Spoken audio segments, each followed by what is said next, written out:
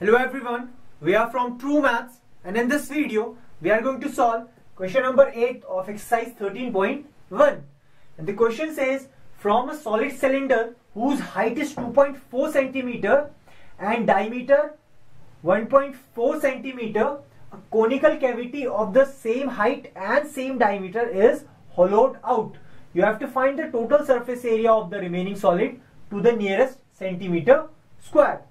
Now it is given that from a solid cylinder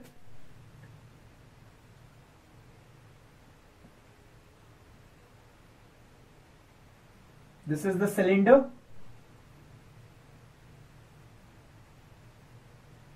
And from this cylinder a conical cavity of same height and same diameter is taken out so this has been taken out. You have to find the total surface area of this remaining solid. And where the height of this uh, cylinder is given to you as 2.4 centimeter. This is given to you as 4 points and the diameter is given to you as 1.4 centimeter. So the diameter is 1.4 centimeters. Now you have to find the total surface area of this remaining solid. Now if you have to find the total surface area of this solid that will be the surface which is visible to you. You have to find the area of that surface which is visible to you in this remaining solid.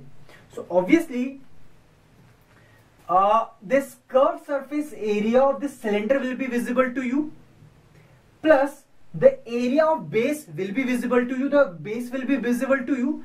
And if you see from the top a conical cavity will be seen inside this cylinder. So the surface area or you can say the surface area of this cone will also be visible to you if you see from the top. So these three surfaces are visible to me. So if we if I have to so, uh, find out this total surface area of this I have to add all three surfaces to find out the total surface area of this remaining solid. Now if you want to find the total surface area of solid that will be the curved surface area of cylinder which is this curved one and plus the area of base plus area of base of the cylinder now if you see from the top this surface area of this cone will be visible to me. So the curved surface area of the cylinder. One thing is again important. If you visualize this you will see that obviously this will be the formula. And this surface won't be visible to me because this surface has been taken out. So this surface won't visible to me. This will be hollow here. So now I have to find the curved surface area of the cylinder which is 2 pi RH. The area of the base for the cylinder will be pi r square because the base will be of will be circular. And the curved surface area of the cylinder uh, sorry this will be cone. Curved surface area of the cone. And that will be pi r l. And before solving this what we can do is we can take pi r as common. So from here if pi r is taken out 2h will remain. From here only 1 r will remain. And here hl will remain. Now radius is given to me. If the diameter is 14 centimeter radius will be half of this which is 0.7 meters centimeters. Height is again given to me is 2.4 centimeters. I have to find L which is the slant height for this cone. For that, I'll use Pythagoras theorem. This will be a right circular cone and this will be a right angle triangle where the side opposite to this which is the hypotenuse I have to find out and this will be the perpendicular and this will be the base and base will be same as the radius of this cylinder. So this will be 0.7 centimeter half of the diameter and this perpendicular will be same as the height of this cylinder which is 2.4 centimeter. now I have to find the L using Pythagoras the L square will be equals to the height square plus radius square. L is here is hypotenuse, H here is perpendicular and R here is base. And I have to find the L square. Height here is 2.4 centimeter square and radius here is 0.7 square. This is uh, 576 and this is 49.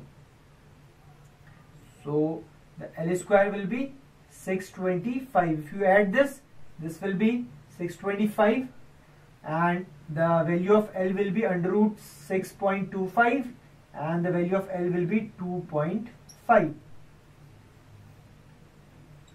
so the L the value of L will be 2.5 centimeters this or I hope you can solve this easily now if I substitute the values the value of pi is 22 upon 7 Radius here is 0.7 that can be written as 7 by 10. I remove the decimal and I place 10 in the denominator. 2 is multiplied by height which is 2.4 plus radius is again 0.7 and L is 2.5. Now this can be cancelled and this will be 22 upon 10 multiplied by this is 4.8 this is 0.7 and this is 2.5 now if I solve this further this 22 upon 10 will remain as it is. I can add this. So 8 plus 5 is 13 plus 7 is 20 2 uh, carry and 4 plus 2 is 6 and 2 was 8 so this will be equal to 22 into 8 176 upon 10 and that will be equal to 17.6 centimeter square. Because this is the area and you have to find in the nearest centimeter square. So 17.6 can be written as 18 centimeter square so this will be the answer for this particular question so this is how you can solve this eighth question i hope you have understood how to solve this question if you like this video, please subscribe to our channel. And if you have any problem in maths, you can directly contact to us. The phone number, the email address and the WhatsApp number is given below in the description. Thank you.